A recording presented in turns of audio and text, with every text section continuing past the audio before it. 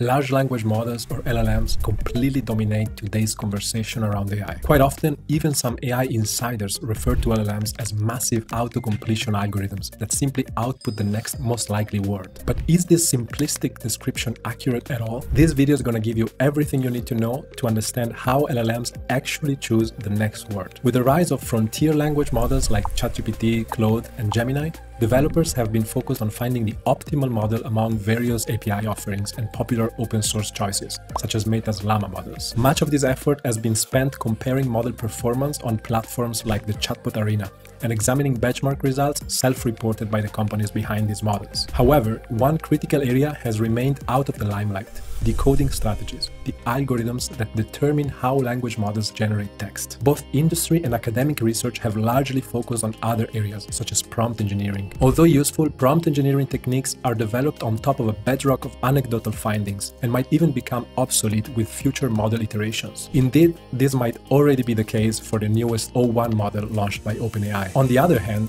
deeper experimentation with token selection algorithms has been largely overlooked. These algorithms set the decision rules used to extract text strings from a model's probability estimates. And no matter how models evolve or training paradigms change, decoding strategies will remain a key component to language model-based text generation. So, to set the ground for our discussion, let's recall some fundamentals of LLMs at a high level. In natural language modeling, we distinguish two separate phases. The modeling phase, how LLMs learn during training, and the decoding phase, how they generate text. During training, LLMs optimize an objective function to estimate the probability of the next word in a text sequence, and this process results in a statistical model of language. We can essentially summarize the breakthrough in LLM development of the last few years as the following empirical discovery. Optimizing this simple objective function through massive model scaling, both computational and in the amount of training data, effectively models human language. And this partly explains why LLMs are sometimes described as next word predictors. But this description can lead to some confusion about the inner workings of LLMs in the decoding phase. When generating text, LLMs can in fact employ a variety of algorithmic strategies that utilize their internal statistical model of language for text generation. In other words, a trained LLM provides a mathematical function that acts as a probability estimator within any specific text generation algorithm,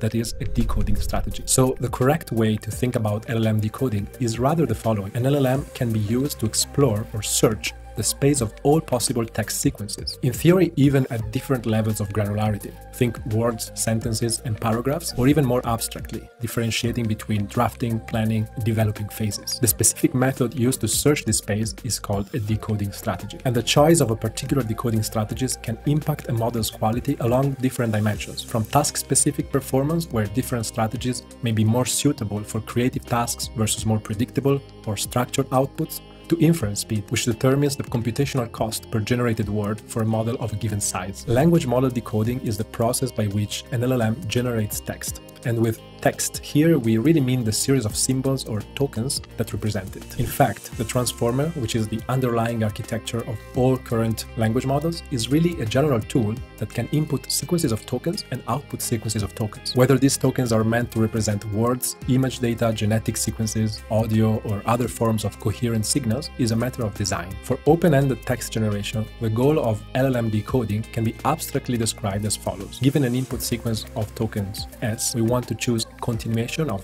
n additional tokens that form the completed sequence S prime. This continuation should be contextually coherent as an extension of the given input. But how do we quantify contextual coherence for this continuation? We do so by using the probability function provided by a language model. Trained on human-generated text sequences, an LLM estimates the probability distribution over the vocabulary of tokens given any sequence S. So a language model can be pictured as a function that maps a token sequence to a vector of probabilities. What are the numbers or entries in this vector? Well, for any token x in the model's vocabulary, the list of all possible tokens, we have the probability of x conditioned on the sequence s. This number represents the likelihood that the token x would follow the sequence s. With this, we can compute the probability of any completed sequence, any sentence if you want, based on the probability chain rule, where the probability of a sequence is decomposed into a product of probabilities of a single token conditioned to a sequence. Note that this approach to computing text probabilities really defines causal language modeling.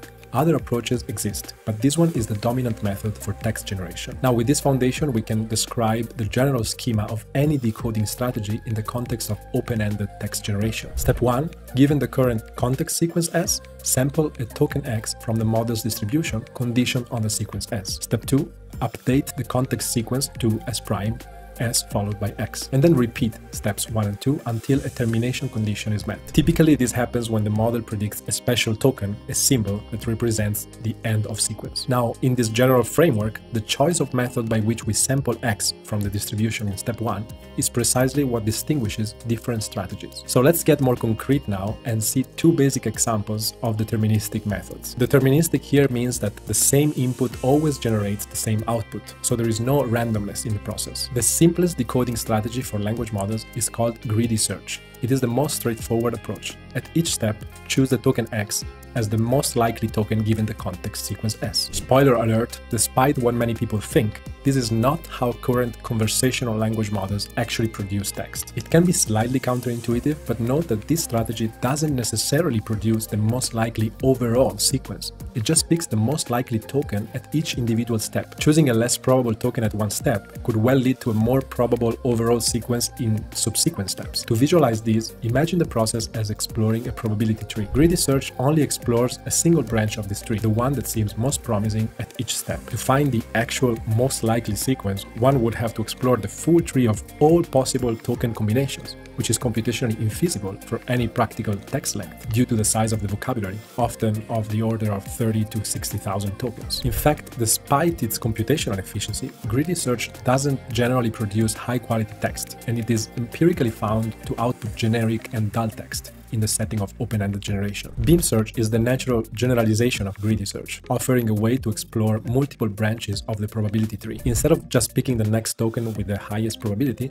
it maintains a whole beam of the k most probable sequences at each time step, where k is referred to as the beam width. Depending on the beam size, this method produces higher quality text than greedy search, but it can be slower due to more computations. More precisely, the algorithm works as follows. Consider the top k most probable next tokens for each sequence in the current beam, where the initial beam consists of only the input sequence. Then expand each sequence with these k tokens, creating k new candidate sequences for each existing sequence. Finally, update the current beam by selecting the top k sequences among these candidates. By maintaining multiple candidate sequences, beam search can effectively look ahead in the probability tree potentially finding higher probability sequences that greedy search might miss. The beam width, the chosen parameter k, determines the trade-off between the depth of exploration with larger k and computational efficiency with smaller k. However, beam search often falls short in open-ended text generation tasks. Both qualitative studies involving human preferences and quantitative analysis comparing the variance in human-generated text versus beam search